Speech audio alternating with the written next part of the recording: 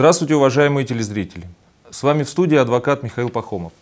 К нам поступило большое количество писем с просьбой рассказать о том, как правильно приобрести недвижимость в новостройках и не превратить э, при этом покупку в русскую рулетку.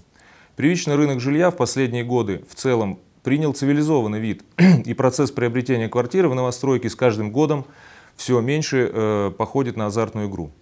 Однако, несмотря на то, что контролирующие органы и рынок установили довольно строгие и прозрачные правила игры, ряды обманутых инвесторов продолжают пополняться.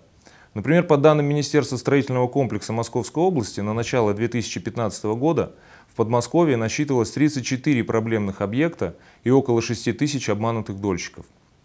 Самый большой минус новостроек по сравнению с жильем, приобретаемым на вторичном рынке, это риски нарушения сроков строительства и сдачи объекта отсутствие у застройщика всех необходимых разрешений, банального жульничества с метражом готового жилья и, наконец, банкротство застройщика.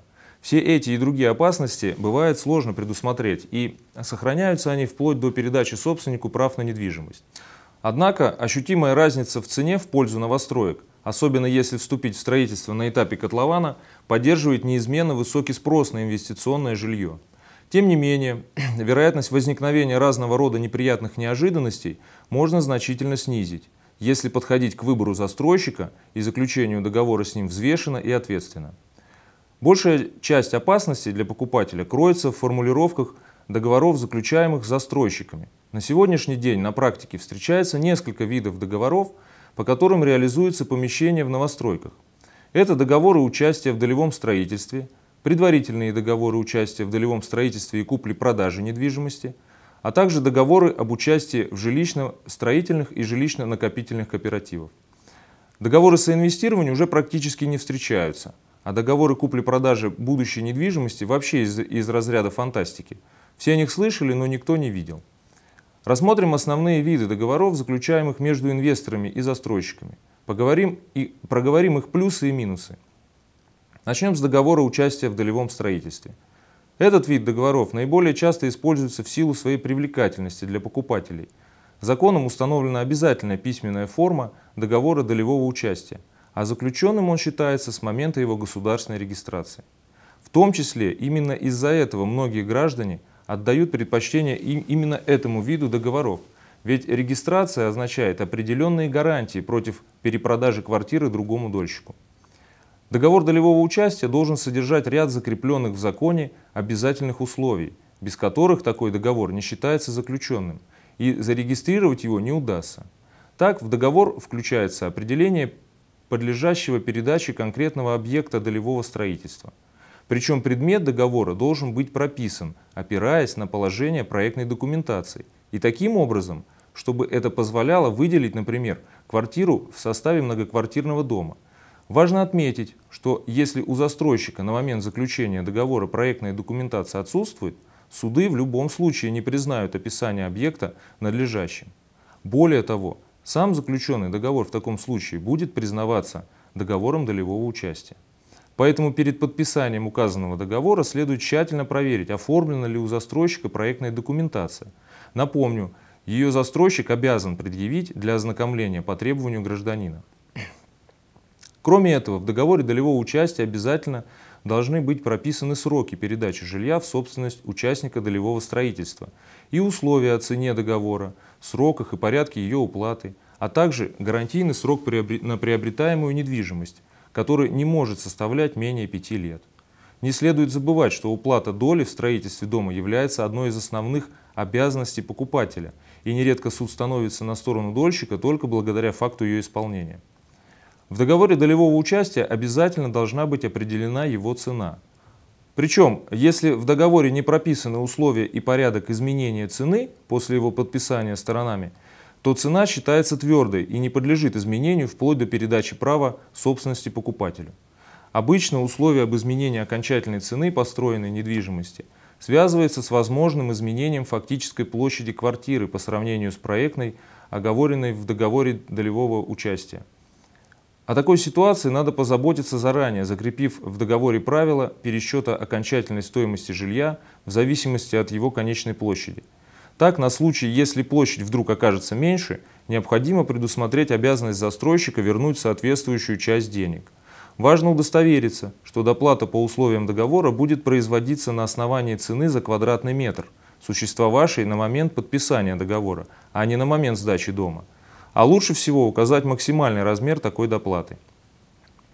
Требования к договору долевого участия, как видно, предъявляются довольно серьезные, но это компенсируется, гарантиями прав, которые получает дольщик.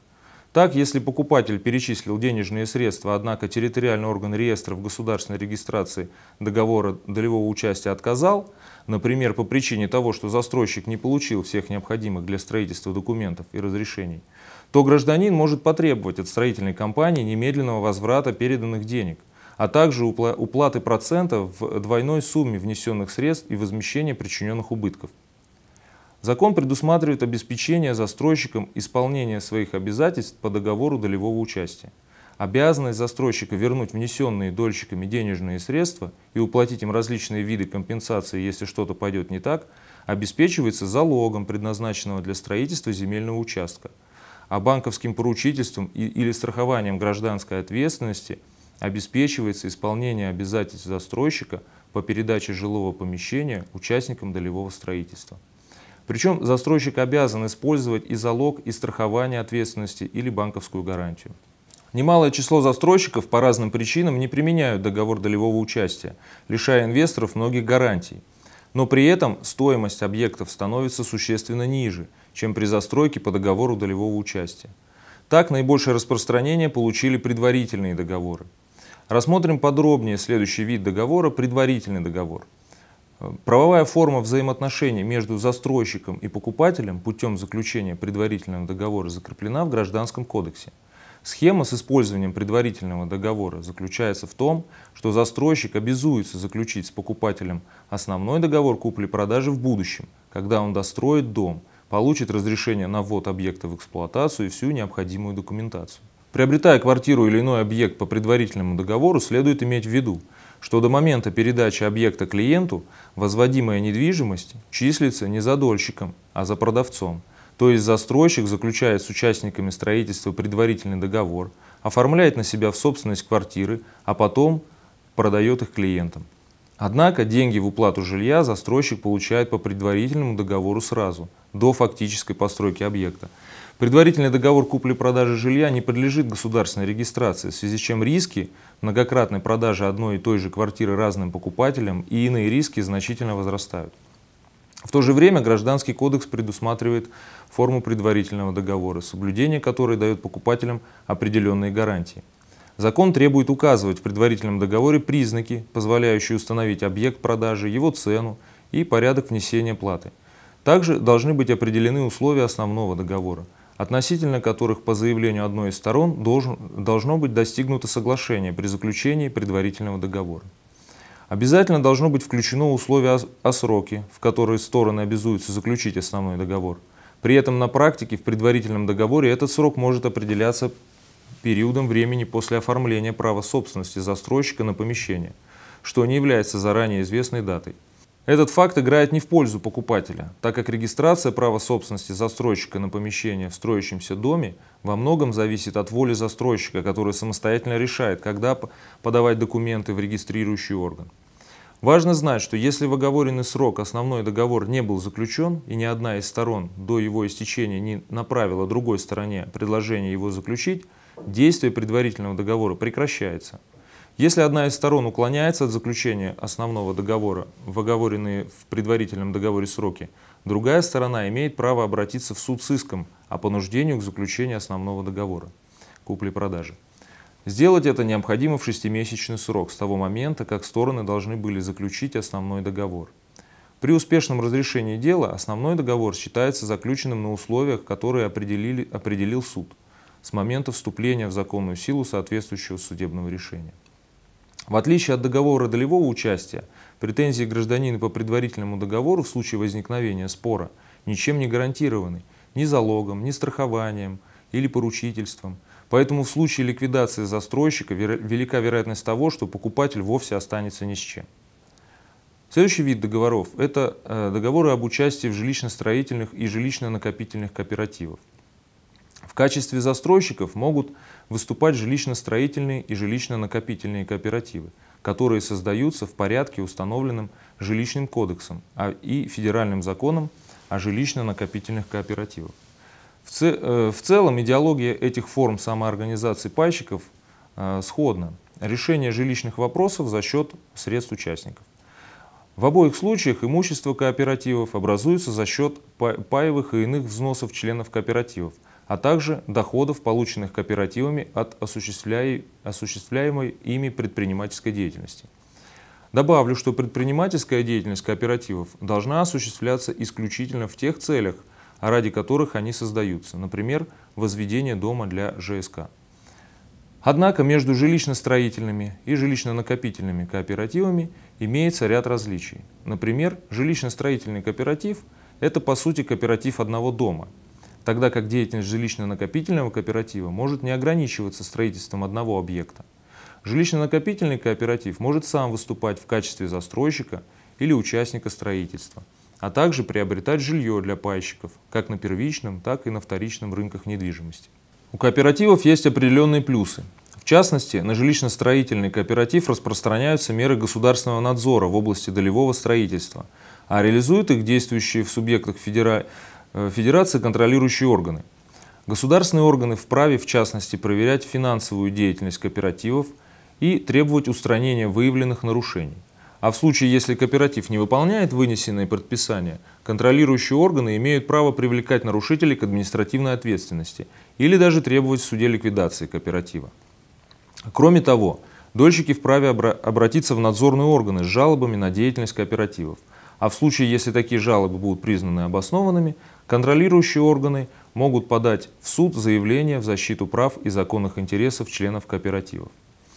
Надзор же за деятельностью жилищно-накопительного кооператива осуществляется Банком России в пределах финансовых де финансовой деятельности таких кооперативов. Так регулятор контролирует финансовую устойчивость накопительного кооператива и деятельность кооператива по привлечению и использованию денежных средств пайщиков. Как и региональные контролирующие органы в области долевого строительства, Банк России вправе проводить проверки деятельности кооперативов, рассматривать жалобы пайщиков и защищать их интересы в суде – требовать устранения выявленных нарушений, привлекать должностных лиц кооператива к административной ответственности, а также обращаться в суд с иском о ликвидации накопительного кооператива в случае невыполнения им законных требований Банка России. Кроме этого, накопительные кооперативы обязаны ежегодно проходить аудиторскую проверку ведения бухгалтерского учета и бухгалтерской отчетности – Дополнительный контроль деятельности накопительного кооператива осуществляется в рамках саморегулируемых организаций, членами которых они являются. В то же время участие в кооперативах несет для участника определенные риски. В соответствии с законодательством устав кооператива должен содержать порядок покрытия пайщиком понесенных кооперативом убытков. То есть пайщик личными средствами отвечает э, за покрытие понесенным кооперативом убытков. Это может быть предусмотрено и договором по накопления, или иным подобным договором. Более того, решением общего собрания пайщика вовсе могут исключить из кооператива за те или иные нарушения, например, за просрочку платежа или срока приемки квартиры. Кроме того, договор с кооперативом на практике крайне сложно включить его ответственность за качество передаваемого объекта по завершению строительства. Это в первую очередь связано с тем, что кандидату в пайщики для подписания обычно предлагают типовой договор, который кооператив просто отказывается вносить изменения. В остальном участие в кооперативах несет в себе практически те же риски, что и другие, отличные от договора долевого участия, схемы привлечения средств инвесторов. Итак, вложение средств в новостройки сегодня является одним из самых популярных и относительно безопасных способов как улучшения жилищных условий, так и вложения капиталов. Несмотря на ряд довольно серьезных инвестиционных рисков, Вновь построенное жилье обладает целым рядом преимуществ, среди которых более выгодная цена по сравнению с предложениями на вторичном рынке недвижимости, современная часто свободная планировка, новые внутридомовые коммуникации и так далее. Уделяя же повышенное внимание юридически грамотному оформлению взаимоотношений с застройщиком, риски утраты средств или неполучения желаемой квартиры можно свести к минимуму. Особое мнение было в эфире в студии адвокат Михаил Пахомов – Ждем ваших звонков и писем. До новых встреч.